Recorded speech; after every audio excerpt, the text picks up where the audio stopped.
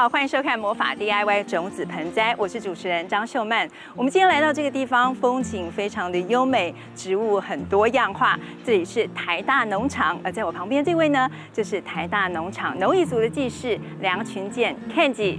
Hello，秀曼你好，欢迎你来到台大农场。我们今天为什么要来找 Kenji 哦？因为他是园艺方面的专家，很会照顾花花草草。我看你经常跟朋友分享一些照顾的 paper。是啊，因为从小就喜欢种花，种了数十年，再加上自己又是种花种草的科系，所以把这些植物当作家人一样对待。太好了，我们很多观众朋友他们也想在室内种一些盆栽啊，但是往往种着种着哦，发现他们就营养不良，一副垂头丧气的样子，非常需要专家来解惑指导。常常因为这些光线不一样的时候，植物会长得不太健康。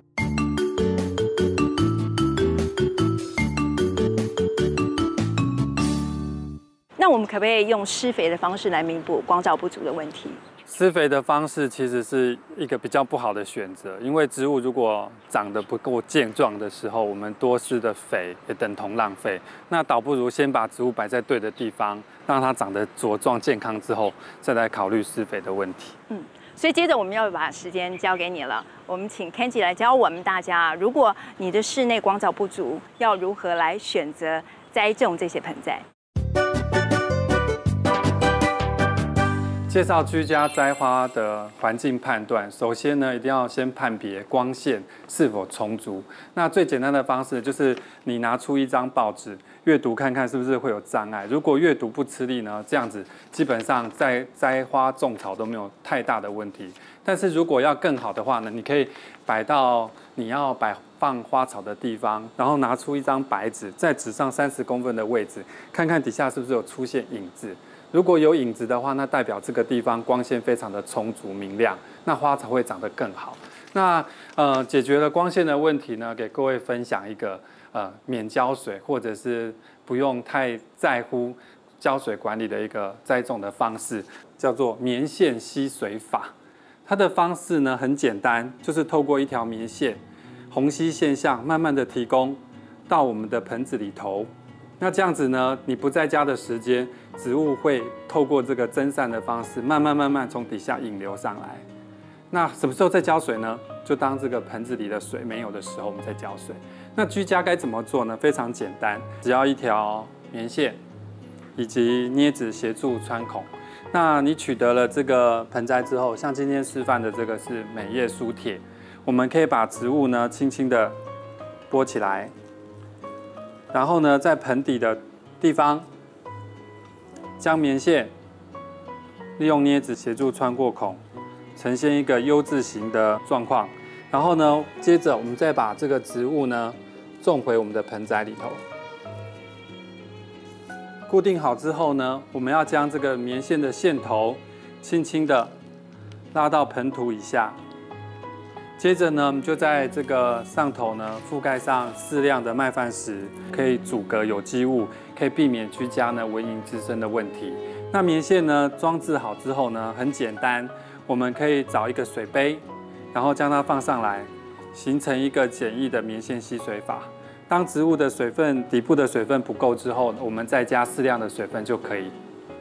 明线吸水法呢，可以有效管理家里的种子盆栽以及各类的室内植物。但是毕竟是土根，如果各位喜欢更干净的话，还有一种立根的方式，可以协助各位在居家管理、照顾你的室内植物跟种子盆栽。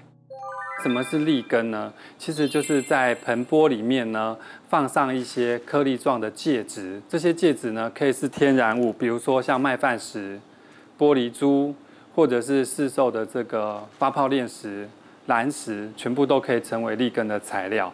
那要栽培立根呢，最简单的方式就是我们选购了一盆室内的罗汉松小盆栽回来之后呢，要先把这个根完全的清洗干净，清洗到这些土呢不带根上为原则。洗好之后呢，我们再把这些准备好的立根的材料。逐步的把它放进来我们的容器里头。那因为立根也是一种广义的水根的方式，所以呢，我们最好选择不透水的容器。然后呢，呃，缓缓的将这些发泡炼石呢置入住我们的盆器里头。如果呢担心我们的根系没有办法碰触到这个发泡链石，我们可以利用镊子协助我们的根系固定在这些发泡链石里头。那也利用这些镊子的协助呢，让根系呢能够跟我们的发泡链石能够充分的 match 在一起。当我们发泡链石填到八九分满之后，我们可以将适量的水微微的注入我们的容器里头。注入水之后呢，我们可以在这个留白的地方放上我们可爱的装饰物，这样子立根就完成了。那这个立根呢，在维护管理的时候，我们用这个透明的作品来给各位做说明。一般呢，当这个立根的水位我们肉眼看得见。所以，当它水位慢慢慢慢的从原来的二分之一变到三分之一的时候，我们就要再局部的装水。那维持这样的水位高度，我们就可以在日常生活里把室内植物养殖得非常的容易。当我们从土根的环境呢移至到这个立根的环境的时候，因为根部有大量的清洗，它可能会有受损的关系，所以我们移入立根的环境之后呢，我们需要利用塑胶袋。来进行短期的保湿。那我们把塑胶袋打开来之后，如果在夏天的话呢，我们建议由下往上套的方式，将这个盆栽呢半套在这样保湿的环境里头，至少要摆放一周到两周的时间。当植物开始萌发新芽或新叶的时候，就代表它已经驯化成功了。这时候呢，就可以把我们的塑胶袋移置开来。已经完成立根驯化的示范。如果呢你不想要买盆器的话，最近有流行一种胎球的小盆栽，等会我做给你看。胎球是近年非常流行的一个居家园艺的方式，日文叫做台语 “Koke Dama”。那最早是起源于日本，这个运送盆栽的时候，要把盆器拿起来，方便于运送。结果呢，发觉没有盆器的盆栽也蛮好看。那怎么制作呢？当然就是选购你喜欢的小盆栽。那当然我们还需要呃在居家附近采集一些青苔植物。那这个青苔的量其实不不必要太多，只要少许。那通常居家哪里可以采到这些青苔呢？南边比较容易，还有潮湿的地方取适量就好。那另外制作胎球呢，最简便的方法就是使用我们水苔。这种材料，那水苔这种材料呢，其实是一种苔藓植物的残骸。一般居家的蝴蝶兰使用的就是这种介质。那除了这个之外呢，可能我们需要棉线进行胎球的捆绑，那少许的石头以及镊子，还有呢塑胶袋协助我们塑形。那接着呢，我们的胎球该怎么做呢？很简单，我们先取适量的水草或者是水苔。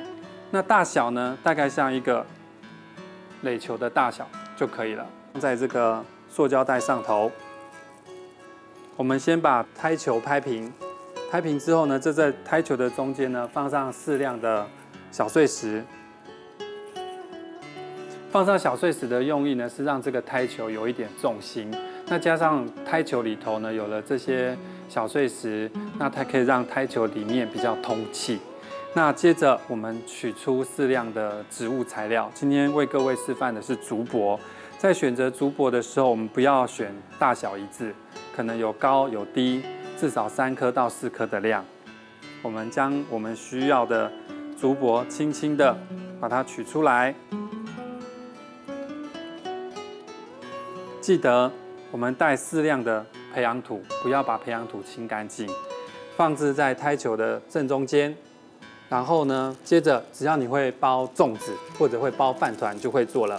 我们利用塑胶袋协助我们塑形，然后呢，把这个塑胶袋的东西南北、中前右后全部向中间靠拢。靠拢之后呢，我们利用我们的虎口轻轻抓住胎球的上缘，另外一只手利用合掌的力量，将多余的水分轻轻的挤出来。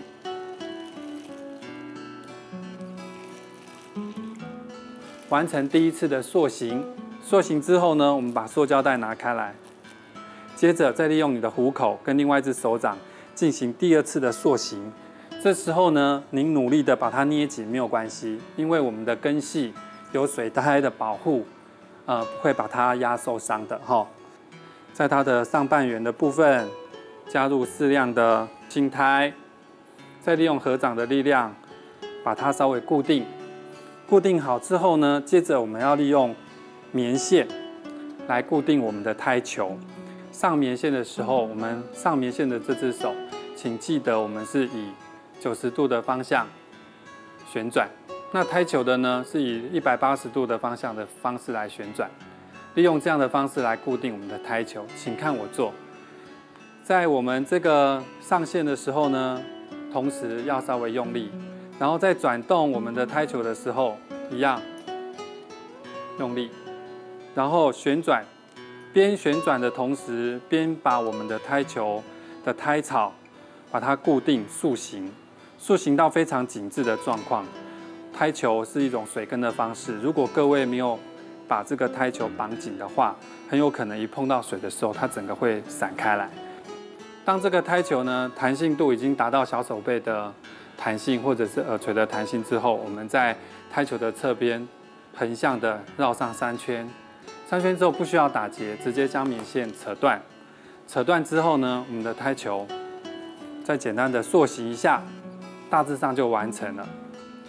当你完成竹柏小胎球之后，如果觉得它有点单调、不够丰富的话，我们可以利用常见的植物，比如说吊兰的小侧芽，或者是红线的新芽这一类容易扦插成活的植物，我们直接取下这个吊兰的小胎球上面的侧芽，然后呢，在这个胎球的上缘，我们利用镊子穿个洞。再将这个吊兰的侧芽轻轻的把它种到这个里头，这样子呢，胎球看起来会比较丰富，层次上面呢也会比较好看一些。当然，如果你喜欢极简，呃，建议各位就绑一种就好。等你越多栽培植物的经验之后呢，你再做这种组合式的胎球，会比较容易成功。那浇水的方式很简单，你可以直接用手触摸胎球，只要胎球表面干燥了，你就可以整颗拿起来泡水，泡完水再放回来。那今天呢，给各位介绍是利用这些胎球呢来做一个组合盆栽，打造一个禅风小庭园。那这个胎球呢，日文叫做 Koke Dama，源自于日本的一个盆景艺术。那它又叫做穷人的盆栽，利用很简单的素材，不必要特别的盆钵，我们就可以在居家栽培我们的胎球。那当你买回来的胎球呢，最简单的方式就是利用碗，或者是小杯子，或者是浅碟子，都可以来培养我们的胎球。那培养的方式非常简单，我们把胎球放在这些浅波碟子上，就可以直接摆放在想要欣赏的客厅的角落。那怎么照顾管理呢？很简单，我们只要看这个盆子里的水，干了三两天再加水就可以了。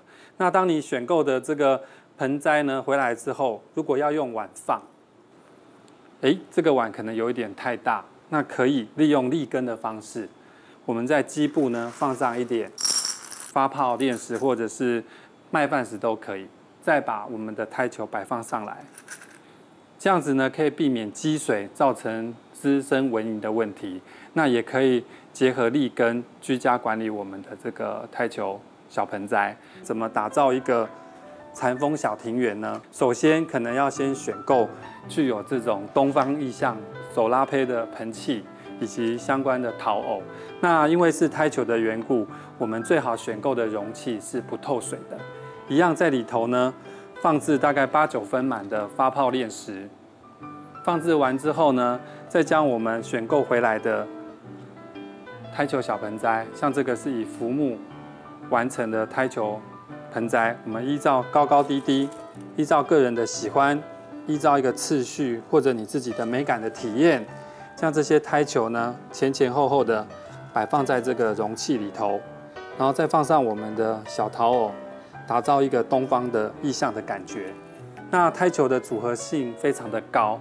你除了使用我们的种子盆栽作为主角之外，你可以选购相关的室内植物绑制的胎球，进行相关的组合，那可以随时在居家的角落呢，打造一个清凉的感觉，或者打造一个禅风的感觉，或者是很简单，利用咖啡的小树苗，一个很小的小杯，我们就可以在居家的角落创造出一个绿意无限的感觉。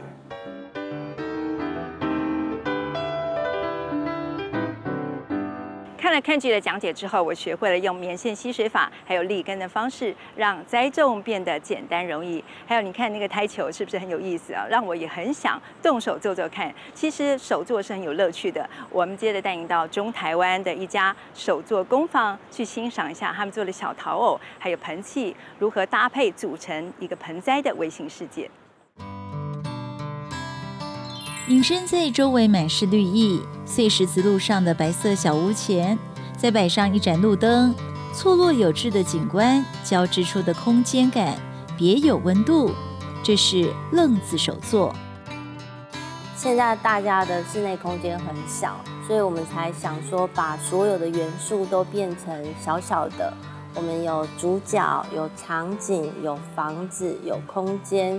然后再有灯了之后，就有情境。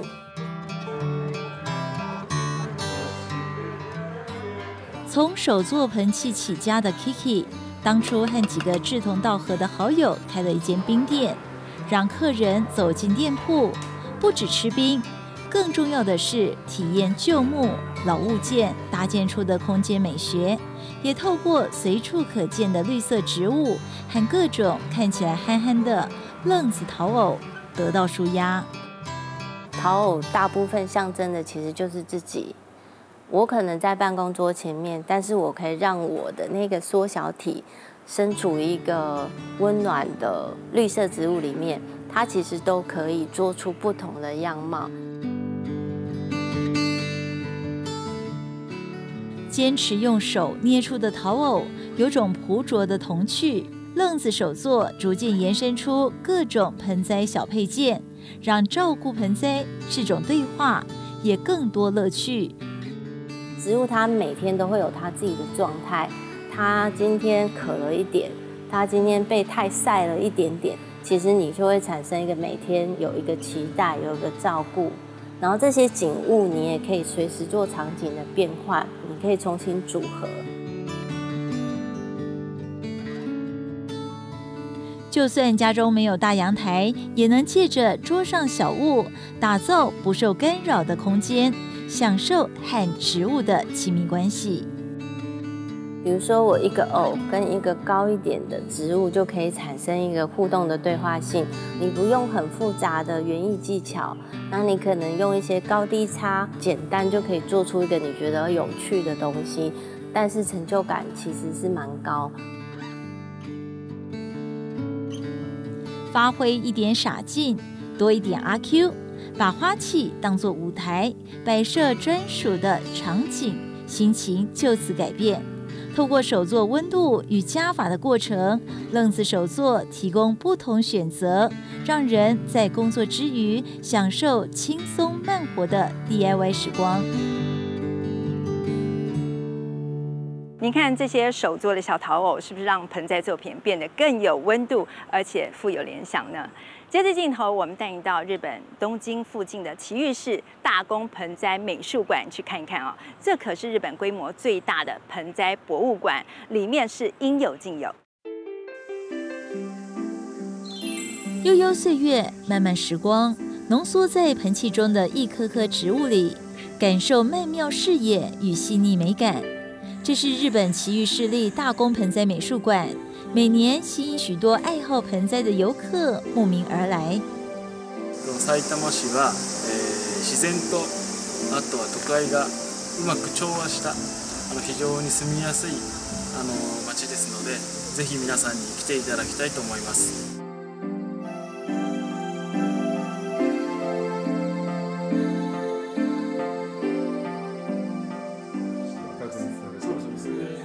走进美术馆， 这里就像一本丰富的盆栽百科全书，一张张图文并茂的看板，详细介绍盆栽历史、形态、栽培方式。逆に人の手によって、え手よく形作られた木を植えるものを盆栽と言いますね。まあ あの大きく違うのはそうやって人の手によって形作られて景色を作られてるっていうのが鉢植えと盆栽の大きな違い 実際この鉢っていうのは普通の鉢植えに比べて浅いんですよ浅くて小さいから木が大きくなるという、はい、効果があります、まあ、あの盆栽と鉢の違いっていうのはまあそういったところ展场中特别展示传统日式房舍，在不同姿态的盆栽装点下，展现三种空间格调。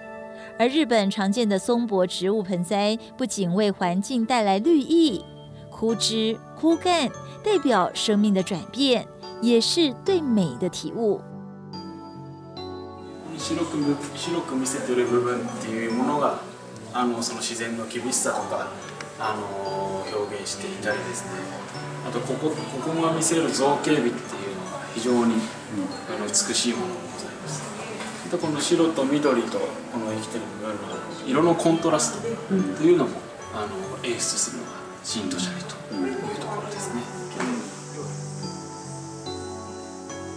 除了室内盆栽，户外的回游式庭园，一株株沿着小径、水池边摆上的盆栽，各自在一方天地尽情挥洒，让人从各种角度观赏，都是美景。 あの日当たりの調節のために下の台がこう動くようにでかいから将植物的开阔细腻、孤傲雅致，透过不同空间展现。大宫盆栽美术馆呼应大自然变化，也传递日本美学文化。 植物的世界非常的丰富，让我们一辈子也探索不完。魔法 DIY 种子盆栽，谢谢您的收看，我们下次见。